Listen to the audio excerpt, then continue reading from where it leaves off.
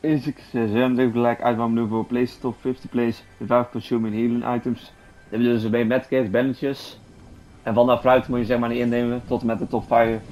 Dus tot de 50 spelers over zijn, daarna kun je die innemen. En ja, dan kun je best gewoon doen, denk ik, in de solo potje en dan de bosje of zo gaan zitten totdat de 50 spelers over zijn. En dan heb je als goed dan al eh, in één potje gehaald.